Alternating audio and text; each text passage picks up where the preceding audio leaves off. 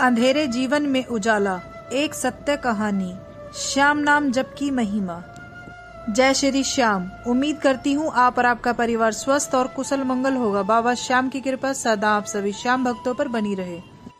श्याम का पावन नाम जप करने वाला मनुष्य कभी भी निराश नहीं हो सकता है। उस मनुष्य के जीवन के सभी संकट अपने आप ही समाप्त हो जाते हैं। जैसे किसी बच्चे को कोई तकलीफ़ हो और वो रोकर अपनी माँ को बुलाता है, तब माँ दौड़ी चली आती है और अपने बच्चे के सभी कष्टों को दूर करने का पूरा प्रयास कर रही है। ठीक उसी तरह, जब आप कष्ट में होते हैं, तब आपके हृदय से, सच्चे दिल से बाबा श्याम को पुकारते हो, तब वो पुकार उन तक ज़रूर पहुँचती है। एक बार विश्वास करें इस बात का। जब आप बुलाते हैं, नाम लेते हैं बाबा श्याम, तत्काल ही कृपा करते हैं। खाटू वाले श्याम से की जाए, तब ज़रूर कृपा प्राप्त होती है। यही तो बाबा श्याम की महानता है। खाटू धाम में तो केवल बाबा श्याम का ही तो बोलबाला है। बाबा श्याम सबकी सुनते हैं। बाबा श्याम अपने भक्तों को कभी दुख कष्ट में नहीं देख सकते हैं। आज बाबा श्याम की कृपा की एक सच्ची कहानी सुनाने वाली हूँ, जो नोएडा के रहने वाली सुलेखा जी की है। इस कथा को सुनकर आपको पता चल जाएगा कि बाबा श्याम अपने भक्तों को कभी निराश नहीं करते हैं। आप एक बार श्याम नाम जप करना शुरू तो करें। इस कहानी को जानने के लिए इस वीडियो को आखिर तक ज़रूर देखें। उससे पहले, जो लोग खाटू के राजा श्याम चैनल पर नए हैं तो चैनल को सब्सक्राइब करें और ज़्यादा से ज़्यादा श्याम भक्तों के साथ शेयर करें, ताकि वो भी बाबा श्याम की सच्ची कहानी, चमत्कार के बारे में जान सके। सुलेखा जी ने बताया, बाबा श्याम के नाम का निरंतर जाप करने से बड़े से बड़े संकट भी टल जाते हैं।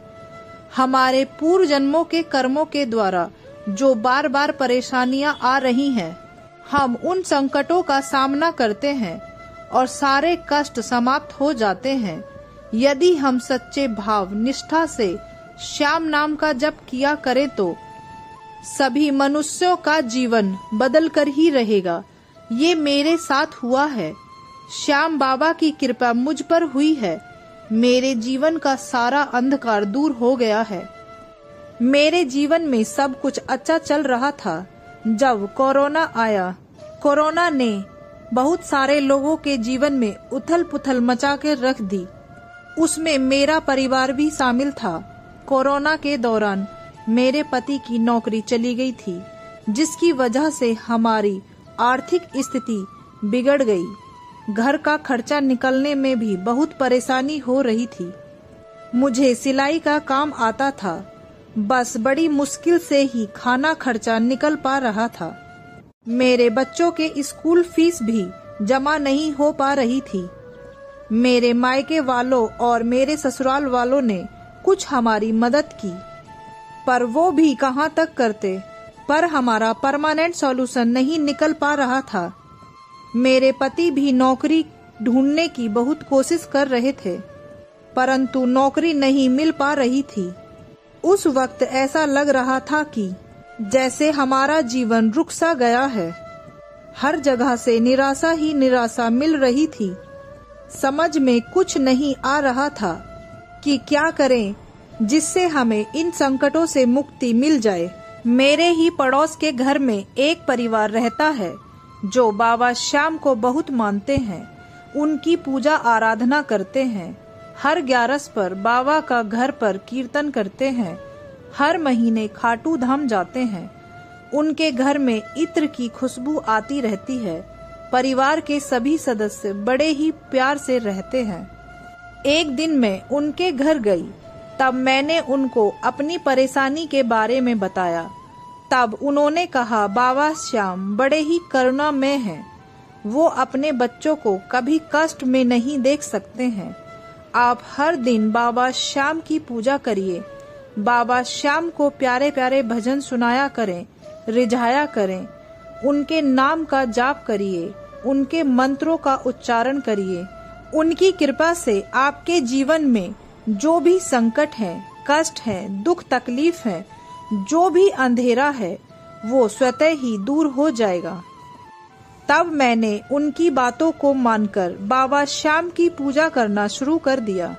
बाबा श्याम के नाम का जाप करना शुरू कर दिया, क्योंकि हमारे जीवन में निराशा ही निराशा थी।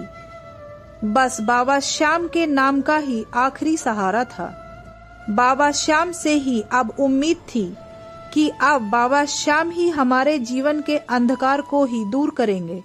फिर मेरा नाम जप निरंतर चलता रहता था और जब मैं पूजा करती थी, तब बहुत देर तक बाबा श्याम से बातें किया करती थी। जैसे वो ही मेरे सब कुछ हैं माता पिता भाई बहन सब कुछ। मैं हर दिन अपनी सारी बातें बताया करती थी। ऐसा करने से मुझे बहुत सुकून मिलता था मेरी सारी टेंशन खत्म सी होने लगी थी। मुझे श्याम जब करते हुए करीब तीन महीने ही हुए थे। जब मैं सो रही थी, तब मैंने बाबा श्याम के समक्ष रोते हुए खुद को देखा और बोल रही थी, बाबा श्याम, खा लो, वरना मैं भी कुछ नहीं खाऊँगी। तब बाबा श्याम ने भोग को ग्रहण किया और मुस्कुराते हुए बोले, तू चिंता नहीं कर। तब मेरी आँख खुल गई। तभी मैं अपने घर के मंदिर में गई और देखा कि जो मैंने बाबा श्याम के समक्ष जल का गिलास रखा था, उस गिलास में जल नहीं था, सारा पानी खत्म था। तब मैंने दोबारा जल भरकर रखा। मैं बहुत खुश थी। मुझे बाबा श्याम ने दर्शन दिए। अब मेरा विश्वास और भी बढ़ गया था। श्याम नाम जप पर। इस सपने के दो तीन दिन के बाद ही मेरे पति को नौकरी मिल गई। फिर धीरे धीरे हमारी आर्थिक स्थिति ठीक होने लगी। हमारे बुरे दिन दूर होने लगे, परंतु मुझे एक बात समझ में नहीं आई कि हमारे जीवन में बुरे दिन आते ही क्यों हैं, जो ये हम मनुष्य को तोड़कर रख देते हैं। एक दिन में अपनी दादी माँ से बात कर रही थी, तब उन्होंने बताया कि हमारे जीवन में जो भी संकट आते हैं, वो हमारे पूर्व जन्म के पाप कर्मों के कारण ही आते हैं। हमें अपने एक एक कर्म का हिसाब देना होता है। भोग भोगने पड़ते हैं, चाहे हँसते हुए भोगो, चाहे रोते हुए। बिना भोग भोगे आपको छुटकारा नहीं मिलेगा। केवल प्रभु का पावन नाम ही ऐसा है। इसमें ऐसी शक्ति है जिससे हमारे सारे पाप कर्म नष्ट हो सकते हैं। फिर उसके बाद मैंने बाबा श्याम का निरंतर जाप करना चालू रखा। उठते, बैठते, सोते, जागते हर समय श्याम नाम का जाप निरंतर चलता ही रहता है। मुझे बाबा श्याम से प्रीत होने लगी थी। मैं खाटू धाम जाने लगी थी। मेरे पति भी बाबा श्याम की पूजा करते हैं। उनके श्याम नाम का जाप निरंतर करते हैं।